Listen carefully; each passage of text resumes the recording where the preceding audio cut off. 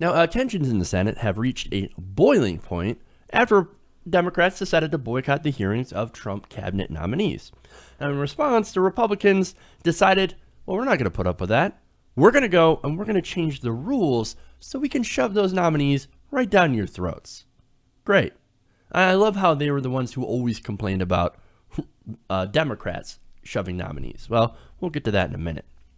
Now, The Hill is reporting that the Senate Finance Committee has pushed through Steven Mnuchin, Trump's Treasury Secretary pick, and Representative Tom Price, which is Trump's Health and Human Services pick, with uh, a party line vote. Basically, they started, they changed the rules so that nobody had to be from the other party present to be able to pass them along. Now, The Hill says by unanimous consent, the Republicans gathered in the hearing room agreed to change the committee's standing rules, which normally require at least one member of each party to be in attendance for committee work to proceed. Now, uh, Democrats uh, are saying, hey, man, the those people during these hearings, they weren't exactly honest. They weren't honest with us. We want to bring them back. We want to continue to question them. We want to get the truth from them. So, no way in hell are we going to actually confirm people who literally lied in our faces. Sherrod Brown from Ohio says, quote, We want the committee to regroup, get the information, have these two nominees come back in front of the committee, clarified what they lied about, and that's a strong statement. Um, I would hope that they apologize for that, and then give us the information that we all need for our states. Now, again, that was Democrat Sherrod Brown. So actually trying to be a stronger uh, Democrat. That's great. Now you might be asking, but what did Mnuchin and uh, Price actually lie about? How do you, do you, have any proof? Of course. For that, we go to the Intercept. Now, uh, uh, David Dayen is writing for the Intercept, and he and he says that quote Mnuchin has repeatedly lied about OneWest Bank, uh, which he ran from 2009 to 2015, and its history of robo signing. On two occasions in written responses, Mnuchin has claimed that OneWest never engaged in the practice known as robo-signing, despite considerable evidence to the contrary. Now, what is robo-signing? A robo-signing is essentially a tactic whereby low-level employees perjure themselves by signing foreclosure documents claiming to verify loan information, without ever reviewing the facts. An employee of OneWest admitted to robo-signing in 2009 deposition, and the Columbus Dispatch found dozens of robo-signed OneWest documents in Ohio's public records. So they have records, and yet Mnuchin still, during his uh, hearing, testified that his company did not engage in robo-signing with these foreclosures. So that is a flat-out lie. That is BS. Um, and for that, we go to the Columbus Dispatch. Now, a dispatch analysis of nearly four dozen foreclosure cases filed by OneWest in Franklin County in 2010 alone shows that the company frequently used robo-signers. The vast majority of the Columbus area cases were signed by 11 different people in Travis County, Texas. Those employees called themselves vice presidents, assistant vice presidents, managers, and assistant secretaries. In three local cases, a judge dismissed OneWest foreclosure proceedings, specifically based on inaccurate robo signings. Now, look, I mentioned that the, the employees because that's what they do. Somebody who's in a lower position says, no, no, no, I'm actually the vice president and I'm going to sign off on these documents. Now, that gives that higher up deniability to do these robots. No, I didn't tell them to do. I didn't actually do that. That was not, not my hey, my name. No, that's somebody else. That must have been that low-level employee. Got to get rid of that guy. that's the way it works, man. And then when they get caught, they just like um, uh, uh, Wells Fargo. That's it. When they open all those accounts, they just fire all the low-level guys. Sorry, guys. And they originally, of course, they, they pressure these people, these low-level employees, to do this. You either do this or you're not going to have a job. What are you going to do? I mean, you could take the principled route too, but at the end of the day, you also have to feed your family. So there's that consideration as well. And I'm not defending these people. I'm saying what they're doing is wrong, but I'm saying that there is pressure from up top to commit these acts that are heinous and illegal.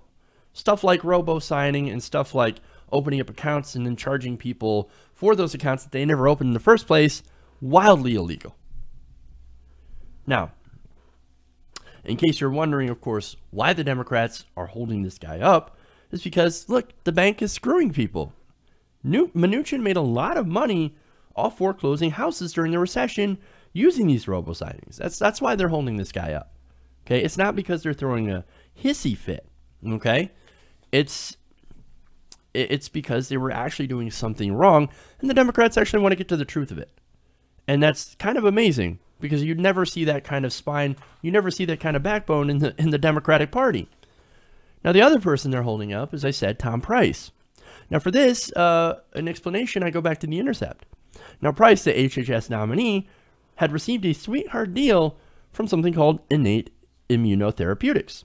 Now, this is an uh, Australian biomedical company to purchase discounted stock shares in a private placement.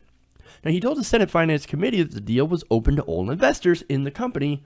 However, the Wall Street Journal reported on Monday that the deal was only available by invitation to fewer than 20 people in the U.S. So again, Tom Price immediately gets caught lying about this. No, no, no, this, it's open to all people, man. I don't. This, so you buy stock in this company? No, dude. You and 20 other, or you and 19 other people were the only ones. You had to be invited. Not good. Now, Price received the invitation from a fellow member of Congress. Uh, this would be Republican uh, from New York, Chris Collins. Now, Collins sits on the board of Innate. When Innate CEO pushed back in the Wall Street Journal story to a CNN uh, reporter, Collins, who accidentally hit reply all to an email, cheered on the CEO for defending Price. So that's how it actually got out. That's how we actually got to know that Chris Collins was involved in this as well. Oops. now, uh, what did he get from this private deal, this sweetheart deal? Well, The Intercept explains the Innate private placement has so far paid off with stock soaring after price secured legislation that would help push through one of their multiple sclerosis drugs. But the discrepancy between Price's comments to the committee and published reports, along with his other questionable trades of medical stocks, prompted the Democratic boycott. Now, of course, uh, when the boycott started, Republicans immediately pissed off. Why won't you just not? Why, why won't you let this nomination go through? Why you gotta hold things up, man? In fact, uh, here you have uh, Orrin Hatch. He said, quote, This is just another way of roughing up the president's nominees. They have been treated fairly. We have not been treated fairly. Oh, you're such a victim. You're such a victim. now, he continued by calling it one of the most alarming things I've seen in my last 40 years in the U.S. Senate. He called Democrats idiots for holding up the process after finally adding that I've never seen anything quite like this. Now, we're going to get back to that, but I, I do want to show you some more video of uh, Orrin Hatch and his statements on this. I'm really disappointed that uh, my my friends on the other side, our Democrats on the other side, are deliberately boycotting this uh, markup. Why that's an important thing for them, I'll never understand, because these two nominees are going to go through regardless. And they didn't lay a glove on them during the, as far as I was concerned, during the hearings. They had a chance to ask every question that they wanted to ask. They, uh, they were treated fairly, uh, which I always intend to do. I can't understand why senators who know that we're going to have these two people go through can't, uh, can't support the committee in, in, in a markup of these two people. I don't remember us treating their, their uh, nominees this way. And I, at least I can't remember ever doing that. And uh, I'm really disappointed at. Uh, he is so disappointed. He's so disappointed. We've never treated the Democrats like this before. I don't understand where this is coming from. Well, again, I'll get to that in a minute. But I have more reaction from the Republicans. Now, uh, you have Senate Majority uh, Mitch McConnell, who dismissed the Democratic concerns as causing, quote, chaos, and called the behavior foolish. Quote, they're manufacturing issues on a daily basis to drag this process out and to treat the president's initial cabinet appointments differently from the way we've treated presidents of the Democratic Party in similar circumstances. you love that? They are absolutely throwing a fit. Why don't you Democrats just forget about it and just let people, just let our nominees go through already? I mean, don't ask any questions. Just lay down, shut up, and take it. Now, again, let's get back because from both of those quotes, and you saw the video, we've never we've never seen anything like this before. We certainly never treated any of the Democratic nominees like this ever. Really? Well, in 2013, Republicans boycotted a committee vote on the nomination of Gina McCarthy. Now, Gina McCarthy was going to lead the EPA.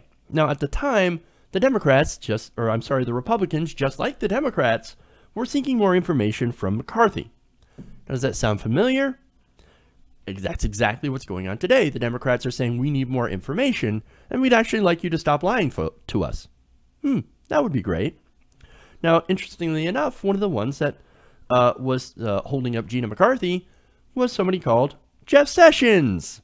Now, Sessions is currently nominated to be the Attorney General. Now, look, eventually McCarthy did get confirmed and look, they did it without the Democrats having to change the rules to push their nominees through, which again is different from the Republicans who have changed the rules to shove their nominees through. They're like, democracy? Fuck that. We're going to push these guys right down your throats. Are you still convinced that you can work with the Republicans? Are you still convinced that there are checks and balances in the government?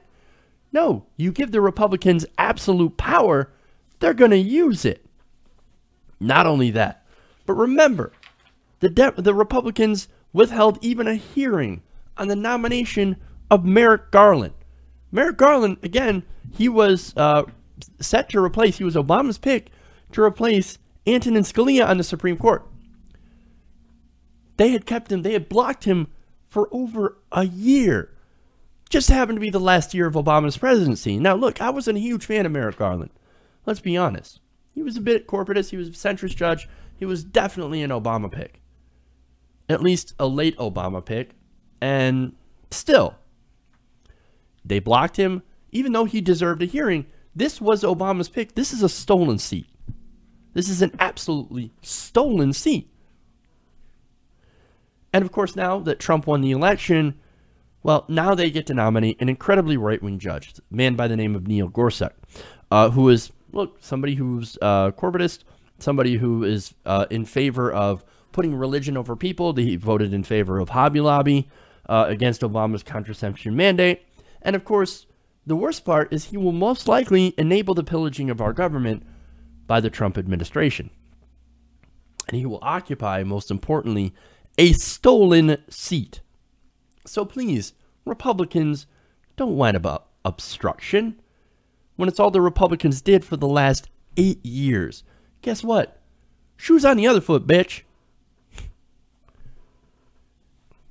Now, look, got, got, got to give some credit here. Great reporting from The Intercept. Great reporting from the Columbus Dispatch for really digging into, uh, you know, these these issues with Steven Mnuchin, as well as uh, with Tom Price. I mean, it actually takes journalism to do that. And look, I also got to give uh, the Democrats some credit here for actually showing a spine. So, I mean, you know, you guys, they're actually doing good work. They're actually saying, hey, wait a minute, this is wrong. We are going to block, we are going to obstruct until we get some answers for the American people. So, and this is rare that I give the Democrats credit for actually standing up for doing the right thing. So, what I guys, what I want you guys to do is tweet at people like Sherrod Brown. Tell them that he's going to do a good job. Tell them that, hey, keep doing what you're doing, man. You're doing a good job. You're actually trying to represent us. You're actually trying to protect us from people like Mnuchin and Tom Price. So, and look, these politicians, they get enough of those messages, they actually will respond. Because they actually are worried about what the constituents think about them because they have to worry about reelection. So, tell them to keep fighting because while they look, while the Republicans may be able to still push through Mnuchin and Price, and they could do that by, of course, uh, yes, the Democrats could filibuster this, And then the Republicans to say, okay, well, nuclear option. Let's go with the nuclear option. And then what that would do is that it would allow them to push through Mnuchin and basically any appointee uh, with a simple majority. So, and look, the Democrats did that. Harry Reid did that. He went nuclear. When he did that, we kind of figured, well, if the Republicans ever get into power, be careful what you do because then you're going to have Republicans that are going to come back and do the same exact thing. So, and that's what that's what Hatch was talking about. Well, they're going to go through anyway. They're going to go through anyway. Yes, because you're going to shove them through by changing the rules. That's what they do, man. But still, I think it's still even though it's more symbolic, it's still good to sit there and, and to go out and fight. And that's what I got to give the Democrats credit for because look, it's good politics. And to be honest, there hey, you know, a part of politics is actually playing politics. And in this case, it is actually good politics if you do it right, because you're going to send the message that you're being strong, that you're standing against Donald Trump. And you're going to need that strength if you ever have any hope of taking back the Senate when it comes up in 2018, the House and the Senate. So, credit to the Republicans, credit to great journalism uh, and great reporting from The Intercept. And uh, look, Democrats, stay strong. Don't allow them to, uh, uh, you know, don't don't side with them. If they're going to push it through, let it push them. Let them push it through on their own, because that decision that's going to end up hanging them in the end. Hey everybody, thanks for watching this video. If you want to see more like this, please hit the subscribe button below. And if you want to support truly independent, non-corporate media, go to our Patreon page and become a patron. Patreon.com slash TYT Nation.